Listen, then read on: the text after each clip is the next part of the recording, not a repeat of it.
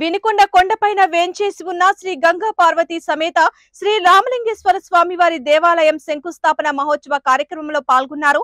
ఉమ్మడి గుంటూరు జిల్లా జనసేన పార్టీ కార్యదర్శి వినుకొండ నియోజకవర్గ జనసేన పార్టీ నాయకులు నిశంకర్రావు శ్రీనివాస్ మరియు నాయకులు కార్యకర్తలు పాల్గొన్నారు.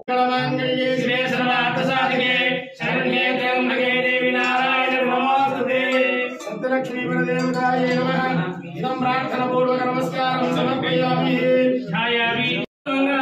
निराजस्यामि नमस्करोमि। नमस्करोमि।